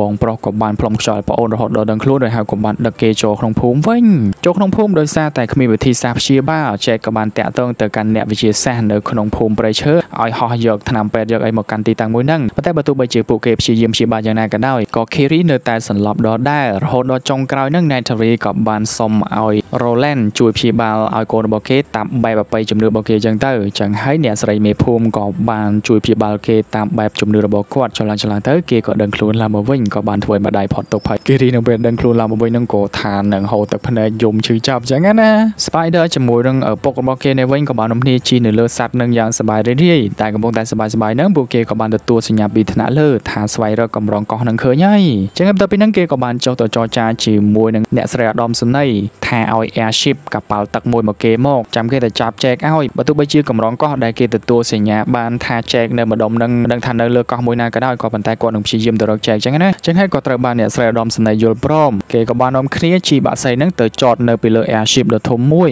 ដែលនៅក្នុង airship មួយហ្នឹងក៏មានដុកទ័រម្នាក់មានឈ្មោះថា Gavin រួមជាមួយមេបញ្ជាការម្នាក់មានឈ្មោះថា Scoresby ក៏បានធ្វើការនៅក្នុងហ្នឹងដើម្បីតាមប្រមាញ់សត្វធុលខុនផងដែរដែលនៅពេលពួកគេពិភាក្សាគ្នាធ្វើការនៅលើយានមួយហ្នឹងនៅខាងលើណែវិញពួកធុលខុនក៏បាននាំគ្នាធ្វើដំណើរចូលមកលេងពួក Met Kayina ហ្នឹងហើយពួក Met Kayina ពិតជាសប្បាយចិត្តខ្លាំងមែនតើក៏បានទៅស្វាគមន៍ពួកគេដោយសារតែពួកគេគឺជាបងប្អូន Spirit ជាមួយនឹងគ្នាអញ្ចឹងណា Jack ក៏បានដឹកប្រពន្ធទៅមើលពួកសត្វធុលខុនដ៏ធំធំនឹងផងដែរក្មេងៗក៏បានហែលេងព័ទ្ធជុំវិញខ្លួនរបស់ពួកអាកូនកូនធុលខុននឹង Roland ក៏បានទៅជួបជាមួយនឹងបងប្អូន Spirit របស់គេដែលម្នាក់ហ្នឹងក៏មានកូនមួយផងដែរពួកគេក៏បាននិយាយសួរសុខទៀតគ្នាតាក់ទងនឹងរឿងកូនរឿងគួរអីចឹងទៅ Sierra ក៏បានទៅអួត Spirit Sister របស់គេអំពីស្នេហារបស់គេជាមួយលោកអាកផងដែរតែអ្វីដែលពួកគេមិនបានដឹងក្រុមរបស់ Colonel Mal ក៏បានជិះ airship ចូលទៅក្នុងភូមិមួយនៅលើផ្ទៃទឹកហើយក៏បានចាប់ពួកនឹងឆក់ផងអីផងដើម្បីសួររកទីតាំងរបស់ Jack តែពួកនឹងក៏បានបដិសេធ Spider ក៏បានដើរតួធ្វើជាអ្នកបកប្រែនិយាយសម្រួលឲ្យយល់គ្នាអញ្ចឹងណាតែបើទោះបីជាពួកនឹងសារភាពថាមិនដឹងអីយ៉ាងណាក៏ដោយពួកទាហានមនុស្សរបស់យើងនៅតែធ្វើបាបទៅកាន់អ្នកភូមិទាំងអស់នឹងបាញ់សម្លាប់សត្វមួយក្បាលគំរាមពួកគេថែមទាំងបានដុតផ្ទះដុតភូមិពួកនឹងចោលទៀតផង Spider ក៏បានសម្លឹងទិដ្ឋភាពមួយនឹងទាំងហូរទឹកភ្នែកប៉ុន្តែមិនអាចធ្វើវាបានបានត្រឹមតែសុំអង្វរពួកនឹងតែប៉ុណ្្នឹងឯងពួកនឹងបន្ទាប់ពីកំទេចភូមិនឹងហើយក៏បានធ្វើដំណើរទៅសួរនៅក្នុងភូមិមួយទៀតហើយនៅល្ងាចបន្តិចហ្នឹង Tonovari ក៏បានទៅជួបជាមួយនឹង Jack ហើយក៏បានយកដំណឹងដ៏រន្ធត់មួយនឹងប្រាប់ទៅកាន់ Jack ថាពួក Sky People នឹងបានទៅដុតកំទេចភូមិដើម្បីស្វែងរក Jack តែយ៉ាងណាក៏ដោយដោយសារតែគាត់គឺជាមេភូមិធំជាងគេប្រាប់ពួកនឹងឲ្យលាក់អំពីអត្តសញ្ញាណរបស់ Jack ណាចឹងហើយគ្មាននរណាម្នាក់ហ៊ានប្រាប់អំពី Jack នោះទេទៅពេលហ្នឹង Jack ក៏បានដើរចូលទៅខាងក្នុងប្រាប់ទៅកាន់ Nataria Nataria ពិតជាខឹងខ្លាំងមែនទែនក៏ចង់ទៅសម្លាប់ Mal ចោលតែ Jack ថាកុំអីកុំអីហ្នឹងហើយគឺជាអ្វីដែល Mal ចង់បានចង់ឲ្យពួកគេទៅជួបជាមួយនឹង Mal នឹងឯងចឹងហើយត្រូវគិតឲ្យឆ្លាតបន្តិចចាំទៅតតាំងជាមួយនឹង Mal Mal ក៏នៅតែបន្តដើរកំទេចភូមិទៅដល់ភូមិណាខ្ទេចភូមិនឹងឆេះភូមិនឹងខ្ទេចខ្ទីអស់ហើយតែហ្នឹងហើយបើទោះបីជាកំទេចច្រើនភូមិហើយក៏នៅតែមិនមានតម្រុយអំពី Jack រនដែរចឹងហើយគេក៏សម្រេចចិត្តប្រើក្បាច់ថ្មីគឺនឹងតាមប្រមាញ់ពួកធុលខូនម្ដងប៉ុន្តែការប្រមាញ់ហ្នឹងមិនមែនចេះតែប្រមាញ់នៅក្នុងវងរបស់ពួកធុលខូនឬក៏ប្រមាញ់នៅក្នុងតំបន់របស់មនុស្សនោះទេដោយសារតែធុលខូនជាមួយនឹងពួក Navi ហ្នឹងមានតែនៅមួយគ្នាគឺជាគ្រួសារតែមួយណាបើសិនជាមានអ្នកណាមួយស្លាប់ក៏គាត់ជាមកសងសឹកជុំគ្នាហើយចឹងហើយគេក៏សម្រេចចិត្តទៅប្រមាញ់នៅក្នុងតំបន់ដាច់ស្រយាលខណៈដែលលោក Act នេះវិញក៏បានទៅជួបជាមួយនឹង Paya Khan ម្ដងទៀតហើយគេក៏បានសួរ Paya Khan តែហេតុអ្វីបានជាគ្រប់គ្នាដក Paya Khan ចេញពីក្រុម Paya Khan ក៏សម្រេចចិត្តប្រាប់ការពិតទៅកាន់គេដោយបាននាំគេទៅកន្លែងស្ងាត់មួយរួចហើយក៏បានបើកមាត់យ៉ាងធំលោក Act ក៏បានយល់ការរួចហើយក៏បានហែចូលទៅក្នុងមាត់នឹងទៅអត់បានដឹងថាបងប្អូនមិត្តភក្តិរបស់គេកំពុងតែលួចមើលពីក្រោយនោះទេហើយនៅពេលគេចូលទៅខាងក្នុងក៏បានឃើញពន្លឺភ្លឺចេញចាចហើយនៅខាងក្នុងនឹងផងដែរវាគឺជាកន្លែងដែលសម្រាប់ឲ្យគេប្រើសក់ទៅភ្ជាប់ជាមួយនឹងផាយាខានណាចឹងហើយគេក៏បានភ្ជាប់គ្នានៅពេលដែលភ្ជាប់ភ្លាមគេក៏បានឃើញនៅក្នុង memory របស់ផាយាខានដែលតាមការពិតទៅមូលហេតុដែលផាយាខានត្រូវបានគេដកចេញពីក្រុមនឹងគឺដោយសារតែនៅក្នុងថ្ងៃមួយផាយាខានបានដឹកនាំគ្នារបស់គេទៅប្រយុទ្ធគ្នាជាមួយមនុស្សរបស់យើងដើម្បីសងសឹកឲ្យម្ដាយរបស់វាដោយសារម្ដាយរបស់វាត្រូវបានពួកមនុស្សរបស់យើងសម្លាប់ណាប៉ុន្តែនៅក្នុងពេលដែលប្រយុទ្ធនឹងទាំងពួក Navi ជាមួយនឹង Tolkien នឹងក៏ត្រូវបានគេសម្លាប់ផាយាខានខ្លួនឯងនឹងក៏បានដាច់ព្រួយអស់មួយជំហៀងហើយមានតែផាយាខានម្នាក់គត់ដែលនៅរស់ដែលបន្ទាប់ពីថ្ងៃនឹងមកក៏គេបានចាត់ទុកថាផាយាខានគឺជាឃាតករក៏បានដកផាយាខានចេញពីក្រុមចឹងទៅតែបន្ទាប់ពីគេចេញពីមាត់របស់ផាយាខានហើយដំណឹងមួយនឹងក៏បានលើទៅដល់ស្ដេច Thanawari ចឹងហើយស្ដេចក៏បានហៅគេទៅស្ដីឲ្យស្ដីទាំងកូនកូនរបស់គេទៀតហើយអ្វីបានជាឲ្យលោកអាកទៅពាក់ព័ន្ធជាមួយនឹងផាយាខានលោកអាកក៏បានតបថាថាផាយាខានគឺជាធុលខ្លួនល្អណាប៉ុន្តែស្ដេចមិនព្រមទេក៏បានប្រោសពួកគេអង្គុយចុះហើយគាត់ក៏បាននិយាយរឿងនេះទៀតអំពីពួកភ័យខាននឹងឲ្យលោកអាក់ស្ដាប់ថាកាលពីដើមឡើយពួកធូលខុនក៏បានធ្វើសង្គ្រាមជាមួយមនុស្សសម្រាប់គ្នាទៅវិញទៅមកសម្រាប់ទៅវាកាន់តែសម្រាប់គ្មានទីបញ្ចប់ចឹងណាចឹងហើយចុងក្រោយធូលខុនក៏បានដាក់ច្បាប់ថ្មីថាលែងមានការសម្លាប់ទៀតហើយប៉ុន្តែសម្រាប់ភ័យខានវិញក៏បានបំពេញច្បាប់នឹងនាំគ្នាទៅសម្លាប់មនុស្សរហូតដល់ធ្វើឲ្យពួកធូលខុនជាច្រើនអ្នកស្លាប់ចឹងហើយបានជាគេដកភ័យខានចេញពីភូមិលោកអេកក៏បានតវ៉ាថាវាមិនមែនជាកំហុសរបស់ភ័យខាននោះទេគឺជាកំហុសរបស់មនុស្សរបស់យើងចេះឃើញចឹងក៏បាននាំកូនប្រុសចេញពីកន្លែងហ្នឹងដើម្បីកុំឲ្យមានបញ្ហាជាមួយនឹងមេភូមិហើយបន្ទាប់ពីហ្នឹងទៅយប់ឡើងក៏បានមកដល់ស៊ីរ៉ាយ៉ាក៏បានជួបជាមួយលោកអាកលោកអាកក៏បានប្រាប់ការពិតទៅកាន់ស៊ីរ៉ាយ៉ាថានៅពេលដែលគេភ្ជាប់ memory ជាមួយនឹងភយខានហ្នឹងគេក៏បានដឹងការពិតថាមនុស្សរបស់យើងបានសម្លាប់ម្ដាយរបស់ភយខាននៅចំពោះមុខរបស់គេចឹងហើយបានជាភយខាននាំគ្នាទៅសងសឹកប៉ុន្តែបែរជាត្រូវបានមនុស្សរបស់យើងសម្លាប់វិញស៊ីសេរីលឺចឹងហើយក៏ចង់បបួលគេទៅប្រាប់ឪពុករបស់គេចឹងណាប៉ុន្តែគេថាមិនអាចនោះទេឪពុករបស់គេមិនយល់ពីគេនោះទេនៅតែគិតថាគេគឺជាមនុស្សបង្កបញ្ហាដដែលចឹងហើយក៏សម្រេចចិត្តលាក់ការពិតហើយបន្ទាប់ពីហ្នឹងទៅពួកគេក៏បានចូលទៅសម្រាកសែកឡើងក៏បានមកដល់ក្រុម Sky People មនុស្សរបស់យើងជាលើ Airship ក៏បានតាមប្រមាញ់ពួកធុលខុនដោយបានបាញ់ GPS មួយទៅចំធុលខុនម្នាក់ដែលម្នាក់ហ្នឹងគឺជាម្ដាយរបស់សត្វមួយក្បាលត្រូវជា Spirit Sister របស់ Roland នឹងឯងហ្នឹងហើយបន្ទាប់ពីបាញ់ GPS ហើយពួកគេក៏បានដាក់យាននៅក្នុងទឹកដាក់អវ័យពេនដាក់អបអីហ្នឹងជិះដេញតាមសត្វមួយក្បាលហ្នឹងហើយនៅពេលដែលទៅគៀកពួកហ្នឹងហើយគេក៏បានបាញ់ក្របបែក Frey កង់ធ្វើឲ្យពួកហ្នឹងហឹងត្រជាហើរឡើងមកលើគោកបន្ទាប់ពីឡើងមកលើគោកឃើញគោដៅហើយគេក៏បានប្រើកំភ្លើង Frey កង់សំលេងបាញ់ដេញអាសត្វមួយក្បាលដែលគេបាញ់ GPS ហ្នឹងឲ្យចេញពីក្រុមឲ្យបែកចេញពីវងដើម្បីស្រួលគេចាត់ការហ្នឹងហើយនៅពេលដែលវាបែកចេញពីវងហើយគេក៏បានបញ្ជាយាននៅក្នុងទឹកឲ្យដេញតាមប្រមាញ់សត្វមួយក្បាលហ្នឹងនៅពេលដែលហោះទៅគៀទៅពួកគេក៏បានបាញ់ពងភ្ជាប់ដៃទាំងសងខាងរួចហើយក៏បានបណ្ដែតសត្វមួយក្បាលហ្នឹងឡើងទៅលើបន្ទាប់ពីសត្វមួយក្បាលហ្នឹងអណ្ដែតទៅលើហើយអ្នកជិះទូកដែលត្រូវបានដឹកនាំដោយកាប៉ាតេន Scoreby ហ្នឹងក៏បានទៅបាញ់កំភ្លើងមួយគ្រាប់ចំពីពោះរបស់វាពីខាងក្រោមគ្រាប់មួយហ្នឹងក៏មានពឹសមានថ្នាំពុលផងដែរវាក៏ព្យាយាមទាញខ្លួនឲ្យរួចចេញពីព្រួយហ្នឹងណាប៉ុន្តែទាញមិនរួចនោះទេរហូតដល់ថ្នាំពុលជ្រាបជាប់បេះដូងទៅសត្វមួយក្បាលហ្នឹងក៏បានងាប់រួចហើយក៏បានដណ្ដែតមកលើឡើងស្ពីងតទៅពេលហ្នឹងពួកជិះយាននៅក្នុងទឹកក៏បានឡើងទៅលើដំវិសដំអីជាប់នៅលើខ្លួនរបស់វារួចហើយក៏ចាប់ផ្ដើមប្រតិបត្តិការដើម្បីចម្រាញ់យកខួរក្បាលរបស់វាហ្នឹងហើយគេក៏បានបើកមាត់សត្វមួយក្បាលហ្នឹងនឹងធំរួចហើយក៏បានចូលទៅក្នុងមាត់របស់វាចូលទៅក្នុងមាត់ដល់កន្លែងខួរក្បាលហើយក៏បាននាំគ្នាស្វានស្វានហើយក៏បានដាក់មកជុលបូមយកខួរក្បាលរបស់វាតែម្ដងដែលហ្នឹងឯងអាទឹកអមរិតចេញពីខួរក្បាលរបស់វាហ្នឹងត្រូវបានមនុស្សរបស់យើងហៅថាអាមរីតាដែលវាមានសមត្ថភាពជួយពន្យាអាយុមនុស្សរបស់យើងមិនឲ្យចាស់បានហើយមួយប្រអប់ដែលគេបូមបានហ្នឹងមានតម្លៃរហូតដល់80លានដុល្លារឯណោះអញ្ចឹងហើយបានជាពួកគេព្យាយាមប្រមាញ់ទួលខូនដើម្បីយកអាសារធាតុហ្នឹងទៅលក់ហ្នឹងហើយបន្ទាប់ពីបូមខួរហ្នឹងហើយគេក៏ចង់ពន្លិចសัตว์ហ្នឹងចូលទៅខាងក្រោមដើម្បីកុំឲ្យបែកការណាប៉ុន្តែម៉ាល់ក៏បានប្រើពួកហ្នឹងបណ្ដែតទៅដោយសារតែហ្នឹងហើយគឺជាអ្វីដែលគេចង់បានចង់ឲ្យពួកហ្នឹងខឹងមកតាមប្រមាញ់គេខាងក្រៅស្រួលនឹងគេចាប់ចែកនឹងឯងដែលហ្នឹងបន្ទាប់ពីសัตว์ហ្នឹងត្រូវបានគេបណ្ដែតហើយក្រុមពួក Navi ក៏បានមកឃើញវាចឹងហើយក៏បានហោះមកមើលរួមជាមួយនឹងសត្វភ័យខានដទៃទៀតក៏បាននាំគ្នាមកយំជុំវិញសាកសពមួយហ្នឹងទាំងម្ដាយទាំងកូនត្រូវបានគេសម្លាប់បណ្ដែតនៅលើផ្ទៃទឹកយ៉ាងអាណោចអាធំអ្នកស្រី Roland ក៏បានទៅយំចំពោះមុខសាកសព Spirit Sister របស់គាត់ពេលនឹងដែរចែកក៏បានហោះកលាំងស្រាប់តែបានឃើញ GPS ត្រូវបានគេដាំនៅលើកន្លែងហ្នឹងចឹងហើយក៏បានដកវាទុកហើយបន្ទាប់ពីហ្នឹងទៅមេភូមិក៏បានចូលទៅប្រជុំនៅក្នុងភូមិប្រកាសទៅកាន់គ្រប់គ្នាថាត្រូវធ្វើសង្គ្រាមជាមួយមនុស្សដោយសារតែមនុស្សបានសម្លាប់បងប្អូនរបស់គេពួកហ្នឹងក៏ចាប់ផ្ដើមកើនកំហឹងចង់ទៅសម្លាប់មនុស្សចឹងណាប៉ុន្តែចែកក៏បានខាត់ថាបើសិនជាទៅដូចជាទៅរកសេចក្តីស្លាប់ចឹងអ្វីដែលពួកគេអាចធ្វើបានគឺត្រូវប្រាប់ឲ្យពួកធុលខូនរត់ចេញពីតំបន់មួយហ្នឹងទៅរកតំបន់សុវត្ថិភាពទៅដោយសារតែទៅប្រមាញ់ជាមួយមនុស្សមនុស្សពួកគាត់ជាប្រើអាវុធសាហាវសាហាវមកកំទេចពួកគេហើយពួកហ្នឹងនៅតែមិនព្រមថាចែកគឺជាមនុស្សកំសាន្តដដែលរហូតដល់ចែកដក GPS មកទៅពួកនឹងស្ងាត់ចែកក៏បានប្រាប់ថាឲ្យប្រាប់ទៅកាន់ទូខូនទាំងអស់គ្នាទៅថាបើសិនជាទូខូនមួយក្បាលណាត្រូវបានគេបាញ់ GPS នឹងដាក់ហើយបានន័យថា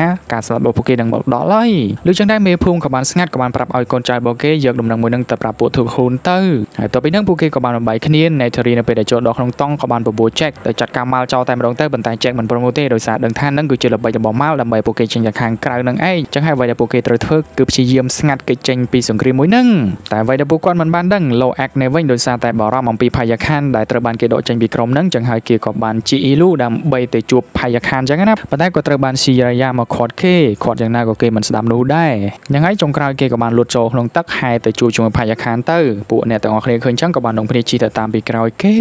សរុបពេលមួយគ្នាដែរមនុស្សរបស់យើងក៏បានបាញ់ GPS ជាប់ទៅកាន់អាសាទធូខូនមួយក្បាលទៀតដែលវាពិតជាចាយដនខ្លាំងមែនទែនមួយក្បាលហ្នឹងគឺជាមួយក្បាលដាច់ពីវងគ្មាននរណាក្រៅពីផាយាខាននោះទេលោអាក់ក៏បានទៅជួបជាមួយនឹងផាយាខានជួបភ្លាមផាយាខានក៏បានបង្ហាញអំពី GPS នៅលើខ្លួនរបស់គេលោអាពិតជាភ័យខ្លាំងមែនទែនក៏ព្យាយាមទៅដកចេញប៉ុន្តែដកមិនរួចនោះទេក៏បានស្រែកហៅគ្នារបស់គេមកជួយដកពេលហ្នឹងលោកអាក៏បានអាយកូនប្រាប់ទៅកាន់ឪពុករបស់គេថាមានបញ្ហាហើយធុលខូនមួយក្បាលត្រូវបានគេបោះ GPS លើខ្លួនហើយឪពុកមកជួយផងហើយបន្ទាប់ពីឪពុកនឹងដឹងថាកូនកូននៅកន្លែងហ្នឹងកូនមួយភូមិក៏នៅនឹងដែរចង្ហើយគាត់ក៏បានប្រញាប់ញ៉ាល់ទៅជួបជាមួយនឹងថូណូវ៉ារីប្រំពីបញ្ហាមួយហ្នឹងបន្ទាប់ពីដងភ្លាមថូណូវ៉ារីក៏បានបួកូនចៅរបស់គាត់ទៅធ្វើសង្គ្រាមជួយសង្គ្រោះកូនកូនសូម្បីតែពុនរបស់គាត់ពពោះហ្នឹងក៏នៅមិនសុខដែរក៏បានជិះទៅជាមួយនឹងគាត់ផងដែរហ្នឹងហើយនៅពេលដែលឪពុកម្ដាយជិះក៏ពើហោះតម្រង់ទៅកាន់ទីតាំងមួយហ្នឹងកូនកូននៅវិញក៏បាននាំគ្នាចង GPS ជាមួយនឹងខ្សែរួចហើយក៏បានប្រើអាសัตว์អ៊ីលូទាញផងពួកគេទាញផងចុងក្រោយក៏អាចទាញរបូតទាញរបូតហើយនៅថាយ៉ាំក៏បានកាន់ GPS នឹងហោះបង្វែងដានឲ្យបងប្អូនរបស់គេរត់ចេញពីកន្លែងហ្នឹងពួកហ្នឹងក៏ព្យាយាមពួននៅខាងក្រោមផ្ទៃទឹកចឹងណាប៉ុន្តែនៅពេលដែលនៅថាយ៉ាំហើយនៅក្នុងទឹកម្នាក់ឯងហ្នឹងក៏ត្រូវបានមនុស្សរបស់យើងបាញ់កំភ្លើងហ្វ្រេកង់ធ្វើឲ្យគេខ្ទាតប៉ុន្តែគេនៅតែអាចគេចចេញបានដដែលរួចហើយក៏បានទម្លាក់អា GPS នឹងចោះរត់ទៅពួនជាមួយបងប្អូនរបស់គេដែរទៅប៉ុន្តែកំពុងតែពួនពួនមនុស្សរបស់យើងក៏បានឃើញតម្រុយក៏បានហែដេញតាមគេពួកគេក៏បានហែលនៅក្នុងផ្ទៃសរាយគេចចេញយ៉ាងវេទនាហើយចុះហែលឡើងដោយសារលឿនខ្លាំងពេកទូកតោកបងស្រីមិនជាប់ក៏បានរបូតចុះទៅខាងក្រោមហើយក៏បានហែគេខ្លួនបាត់ទៅស៊ីយ៉ារ៉ានេះវិញក៏ត្រូវបានគេបាញ់ពងមួយដាក់ជាប់សัตว์របស់គេយ៉ាងហើយក៏បានធ្វើវាតែទៅលើគេក៏បានហែចុះទៅខាងក្រោមទៅពួននៅក្លុកមួយទៀតហើយនឹងឯចុងក្រោយពួកគេក៏បានរត់ទៅពួនជុំគ្នានៅក្នុងពងមួយដែលមានផ្ទុកអុកស៊ីហ្សែននៅក្នុងហ្នឹងក៏បានពួនចុះពួនឡើងទៅនៅឃើញទៅដល់ទុកពួកគេក៏បានហែទៅរកទុកហ្នឹងហើយនៅពេលដែលជួបទុកភ្លាមក៏ត្រូវបានមនុស្សរបស់យើងបញ្ចាំងពិលដាក់ដឹងថាមិនស្រួលទេពួកគេក៏បានប្រញាប់ញ៉ាត់ចេញពីកន្លែងហ្នឹងហែលទៅមុខទៀតប៉ុន្តែហែលទៅមុខបានបន្តិចក៏មានសំណាញ់មួយបាញ់ចាប់ពួកគេទាំងពីរនាក់ជាប់រួចតែលោកអាក់ម្នាក់ឯងនោះទេលោកអាក់ក៏ព្យាយាមតោងសំណាញ់ដើម្បីកាត់ជួយបងប្អូនរបស់គេទាំងពីរនាក់ប៉ុន្តែតោងមានទាន់ណាក៏ត្រូវបានមនុស្សរបស់យើងលើកឡើងទៅលើតែថ្ងៃ Spider ក៏បានឃើញពួកគេក៏បានរត់ចូលមកខាងក្រោមជួយពួកគេតែជួយមានការនោះទេក៏ត្រូវបានគេចាប់ជាប់ចុងក្រោយអ្នកទាំង3នាក់មានដូចជាលោអាកថុកជាមួយនឹងស៊ីរាយ៉ាក៏ត្រូវបានគេដាក់ខ្នោះជាប់នៅលើទូកនឹងបានទៅហើយបន្តិចក្រោយមកចាស់ចាស់ក៏បានធ្វើដំណើរមកដល់កន្លែងហ្នឹងហើយហើយគេក៏បានឆ្លោះទៅមើលលើកប៉ាល់ស្រាប់តែបានឃើញស្ថានភាពមិនស្រួលមកលើវិញក៏បានយកក្បាលមេក្រូចេញពីករបស់លោអាកតាក់ទងទៅកាន់ចែកថាបើសិនជាមិនចង់ឲ្យកូនកូនរបស់គេស្លាប់នោះទេឲ្យចូលមកក្នុងទីតាំងមួយនឹងប្រគល់ខ្លួនមកក្រុមមួយភូមិក៏ចង់លើកតបទៅសម្រាប់ពួកហ្នឹងប៉ុន្តែក៏ត្រូវបានចែកខាត់ថាបើទៅអញ្ចឹងគ្មានអីក្រៅពីធ្វើឲ្យកូនកូនរបស់គេស្លាប់នោះទេអ្វីដែលល្អឲ្យគេចូលទៅធ្វើរឿងហ្នឹងតែម្នាក់ឯងទៅដោយសារតែគេគឺជាអ្នកដែលនាំពួកហ្នឹងមកកាន់ភូមិមួយហ្នឹងទុកឲ្យគេជាអ្នកដោះស្រាយពួកហ្នឹងក៏យល់ព្រមចែកក៏ចាប់ដើមធ្វើដំណើរមួយមួយចូលទៅក្នុងទីតាំងកប៉ាល់មួយហ្នឹងទៅតែអ្វីដែលពួកគេមិនបានដឹងគឺថាផាយាខាន់ក៏កំពុងតែហាលពីក្រោមទឹកត្រៀមជួយលោកអាកមើលភ័ក្ររបស់គេផងដែរហើយបន្ទាប់ពីវាកម្ដៅសេះដុំហើយវាក៏បានលោតមួយទំហឹងទៅជីកពីលើកប៉ាល់មួយហ្នឹងវាក៏ព្យាយាមទះនេះទះនោះនៅកន្លែងហ្នឹងនឹងខ្ទេចតិចអស់ហើយមនុស្សរបស់យើងក៏បានបាញ់វាដែរប៉ុន្តែបាញ់វាមិនមុតនោះទេសូម្បីតែលោកមេបញ្ជាការ Score SB ដែលបានបាញ់គ្រាប់ធំទៅដាក់វាហ្នឹងវាក៏បានប្រើក្បាលរបស់វាតែតគ្រាប់នឹងចេញទៀតផងវាពិតជាឆ្លាតខ្លាំងមែនតែនហើយបន្ទាប់ពីកំទេចកន្លែងនឹងអស់ចិត្តហើយវាក៏បានលោតចូលក្នុងទឹកវិញតែពេលនឹងដែរចេក៏មានឱកាសល្អនាំគ្នានេះមកគេហក់តម្រង់ទៅប្រយុទ្ធជាមួយនឹងក្រុមទាហានមនុស្សរបស់យើងក៏បានប្រើនេះប្រើនោះបាញ់ពួកនោះបានយ៉ាងអង្អាចនៅពេលដែលមនុស្សរបស់យើងរះគ្រាប់មកកាន់ពួកគេពួកគេក៏បានជាមួយចូលទៅក្នុងទឹកគ្មានបញ្ហាអីជាមួយនឹងគ្រាប់កំភ្លើងនឹងនោះទេ Naturia នេះវិញក៏បានហោះនៅពីលើប្រើគ្រាប់ភ្លួញបាញ់យន្តហោះកំទេចម្ដងមួយម្ដងមួយបានយ៉ាងលយនៅខាងលើបាញ់ខាងលើខាងក្រោមក៏បានប្រើកាពើហក់ខំហក់បាញ់ហក់ចាក់ទាហានទាំងអស់នឹងបានជាបន្តបន្តប៉ុន្តែពេលហ្នឹងដែរម៉ាល់ក៏បានឃើញ Nigeria ក៏បានទៅដេញបាញ់ Netheria ប៉ុន្តែក៏ត្រូវបានចែកមកជួយប្រពន្ធប្រពន្ធក៏មានឱកាសរត់ឡើងទៅលើចែកជាមួយនឹងម៉ាល់ក៏បានប្រយុទ្ធគ្នានៅខាងក្រោមនឹងទៅខណៈនៅក្នុងទឹកនេះវិញ Kiri ដែលត្រូវបានក្រុមទាហានដេញចាប់នឹងគេក៏បានប្រើសក់របស់គេភ្ជាប់ជាមួយនឹងសារាយមួយរួចហើយក៏បានប្រើកម្លាំងបញ្ជាសារាយរុក្ខជាតិទាំងអស់នឹងទៅវាយអាយាននឹងនឹងខ្ទេចហើយថែមទាំងបានច្របាច់មនុស្សសម្រាប់ចោលក្នុងទៀតផងនៅខាងលើនេះវិញ Spider នៅពេលដែលឃើញគេធ្វើបាបពួកម៉ែហើយក៏បានយកនេះយកនោះទៅវាយម៉ាស៊ីនឡើយនឹងធ្វើឲ្យវា error ក៏បានធ្វើឲ្យយាននឹងបើកឯងឯងទៅបុកថ្មកលាប់ទឹកចូលទៅខាងក្នុងធ្វើឲ្យមនុស្សមួយចំនួនរបួសផងដែរ Jack នេះវិញក៏បានហោះចេញពីក្នុងទឹកប្រើកាពើរបស់គេខំកសัตว์របស់ម៉ាល់ធ្វើឲ្យវារបួសចឹងហើយម៉ាល់ក៏បានធ្លាក់ចូលក្នុងទឹកគេក៏មានឱកាសហោះឡើងទៅខាងលើដើម្បីទៅជួយកូនកូន Scoresby ក៏ដេញតាមប្រមាញ់ផាយាខាន់ម្ដងទៀតប៉ុន្តែផាយាខាន់ក៏បានកិច្ចផត់ហើយបន្តមកទៀតវាក៏បានទាញយ៉ាងខ្សែកាប់ក្របកំភ្លើងមួយនឹងទៅអស់ទូកនឹងបុកជាមួយនឹងថ្មទៀតនឹងភីងភីងហើយនៅពេលដែលចូលទៅកលៀតមួយនឹងពួកនឹងគិតថារួចខ្លួនហើយប៉ុន្តែមានឯណាផាយាខាន់ក៏បានពួននៅពីខាងក្រោមនៅចុងក្រោយវាក៏បានលុតរំលងទូកនឹងប្រើខ្សែកាប់គៀបទូកនឹងនឹងដាច់ខ្ទេចតែម្ដងដាច់គៀបទាំងលោកមេបញ្ជាការ Scoresby នឹងដាច់ដៃផ្ទុះស្លាប់នៅកន្លែងនឹងយ៉ាងអាណយអធមណាត់ជាយ៉ាំក៏បានលោតឡើងទៅលើទូករួចហើយក៏បានទៅជួយបងប្អូនរបស់គេរួចខ្លួនទាំងអស់គ្នាតែរួចខ្លួនហើយលោកអាក៏បានបវរណាត់ថាយ៉ាំទៅជួយ Spider ពួកគេទាំងពីរនាក់ក៏បានទៅខាងលើទៅខណៈឯបងប្អូនស្រីក៏បានចូលទៅខាងក្រោមប៉ុន្តែចូលទៅខាងក្រោមទៅស្រាប់តែឃើញគេចាប់ Kerry ឡើងទៅលើបាត់វិញអញ្ចឹងនៅពេលដែលឃើញ Kerry ជាប់ខ្នោះហើយធុកក៏បានបបួត Siraya ឲ្យទៅជួយ Kerry ផងហ្នឹងហើយប្រុសប្រុសជួយប្រុសប្រុសស្រីស្រីជួយស្រីស្រីចឹងទៅខណៈដែលមនុស្សរបស់យើងនេះវិញក៏បាននាំគ្នាឡើងទៅលើពងដើម្បីជំនះខ្លួនចេញពីយានដែលកំពុងតែឆេះហ្នឹងធុកនៅពេលដែលឡើងទៅលើនឹងបានបន្តិចក៏បានទៅជួបជាមួយនឹង Kerry ហើយបំរុងជួយ Kerry ទៅហើយស្រាប់តែ Mal ក៏បានមកដល់ក៏បានលុញឈីសេរ៉ាឲ្យធ្លាក់ចុះទៅខាងក្រោមហើយក៏បានចាប់ទុកឲ្យជាប់នៅកន្លែងហ្នឹងម្ដងទៀតទៅលោកអាកជាមួយ Netayam ក៏បានទៅវាយប្រហារគ្នាជាមួយមនុស្សរបស់យើងវាយចុះវាយឡើងក៏អាចទៅជួយ Spider បានសម្រេចប៉ុន្តែក៏ត្រូវបានគេបាញ់រះពួកគេក៏បានទាញកំភ្លើងបាញ់រះទៅកាន់ពួកនឹងវិញចុងក្រោយក៏បានលោតចូលក្នុងទឹកកិច្ចចេញពីកន្លែងនឹងបានសម្រេចប៉ុន្តែនៅពេលដែលគិតថាគ្រប់យ៉ាងចប់សង្កត់រាល់ហើយនៅពេលដែលកន្លែងទៅមើលដើមទ្រូងរបស់ Netayam ក៏បានឃើញហូឈាមបានន័យថាគេត្រូវបានមនុស្សបាញ់ត្រូវមួយគ្រាប់ធ្លាយដើមទ្រូងបាត់ទៅហើយពួកគេក៏បានបញ្ញាប់បញ្ញាល់នាំ Netayam ហាឡើងទៅលើគោកហើយឪពុកក៏បានដឹងដំណឹងមួយនឹងក៏បានហែមកជួយកូនប្រុសប៉ុន្តែគាត់ពិតជាអស់សង្ឃឹមបានទៅហើយនៅពេលដែលឃើញគ្រាប់បាញ់ធ្លាយដើមទ្រូងណាដឹងតែស្លាប់ហើយណាហើយបន្តិចក្រោយមក Nigeria ក៏បានមកដែរក៏បានមកសម្លឹងមើលកូនប្រុសប៉ុន្តែគាត់សម្លឹងមើលមុខកូនប្រុសមិនទាន់បានប្រមាណផង Netayam ក៏បានដាច់ចូលស្លាប់បាត់ទៅធ្វើឲ្យគ្រប់គ្នាហូរទឹកភ្នែកអាណិតគេខ្លាំងមែនទែន Nigeria នេះវិញក៏បានស្រែកមួយទៅហឹងបង្ហាញអំពីភាពឈឺចាប់ដែលចេញពីការបាត់បង់កូនប្រុសរបស់គាត់ប៉ុន្តែបន្ទាប់ពីនឹងទៅម៉ាល់ក៏បានតាក់ទងមកកាន់ចែកថាបើសិនជាមិនចង់ឲ្យកូនស្រីរបស់គេទាំងពីរអ្នកស្លាប់នោះទេត្រូវប្រកួតខ្លួនឲ្យគាត់ចែកឬហើយពិតជារន្ធត់ចិត្តខ្លាំងមែនទែនចឹងហើយក៏បានទៅសម្រួលអារម្មណ៍របស់ Nigeria ថាកូនពីរនាក់ត្រូវបានគេចាប់ទៀតកុំទាន់អាសោកសង្រែងអី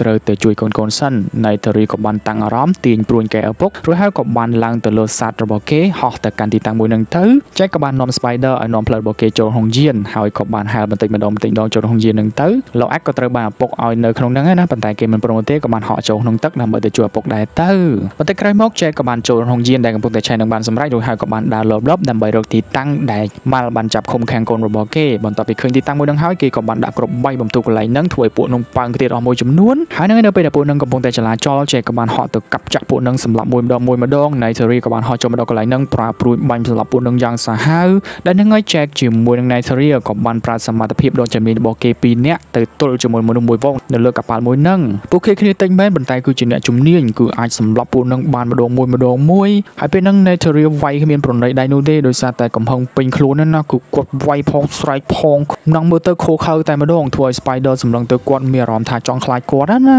ហើយពេលហ្នឹងដែរកូនកូននៅពេលដែលលឺសំឡេងឪពុកម្ដាយមកជួយគេហើយគេក៏ឡើងចាងធ្វើថ្មិញធ្វើអីដាក់ម៉ាល់ម៉ាល់នៅវិញក៏ចាប់ផ្ដើមភ័យខ្លួនផងដែរដោយសារដឹងថាពួកនឹងខ្លាំងណាណៃធារីនៅតែបន្តវាយប្រមាញ់ពួកនំវាយចុះវាយឡើងសម្លាប់ចុះសម្លាប់ឡើងព្រួយគេឪពុករបស់គេក៏បានបាក់ទៀតតែមិនទៀតចេក៏អាចទៅជួយធូកបានសម្រេចតែជាអកុសល Colonel Mal ក៏ចាប់ខេរីភ្ជង់កជាប់គម្រាមឲ្យចែកទម្លាក់អាវុធចោះចែកក៏គ្មានជំរឿក៏បានទម្លាក់អាវុធចោះហើយក៏យកខ្នោះយកអីមកដាក់ដៃណាប៉ុន្តែពេលនឹងដែរ Spider ក៏បានមកចរចាឪពុកណៃធារីក៏បានលបលបមកចាប់ Spider បានសម្រេចរួចហើយក៏បានគម្រាមទៅកាន់ម៉ាល់ថាបើចង់ឲ្យ Spider នៅរស់ទាល់តែដោះលែងកូនរបស់គេដែរម៉ាល់ក៏មិនព្រមទេចឹងហើយណៃធារីក៏បានឆោតទ្រូងរបស់ Spider ថែមទាំងបានទាញកបិតចង់ចាក់ទ្រូងរបស់គេទៅហើយក៏ម៉ាល់មិនដាច់ចិត្តដោះលែង Kiri ទៅចឹងហើយណៃធារីក៏បានដោះលែង Spider ដូចគ្នា Spider ក៏បាននាំគ្នានេះរត់ចេញពីកន្លែងហ្នឹងគ្រប់គ្នាក៏បានរត់ចេញពីកន្លែងហ្នឹងទាំងអស់លើកលែងតែ Jack Jack ក៏សម្រេចចិត្តថាប្រយុទ្ធគ្នាមួយស្មើជាមួយនឹង Colonel Mal ដើម្បីបញ្ចប់បញ្ហាហ្នឹងសម្រាប់ Mal ចោលទៅធ្វើឲ្យគ្រួសាររបស់គេបានសោកហ្នឹងហើយក៏បានប្រយុទ្ធគ្នាលើលើហ្នឹង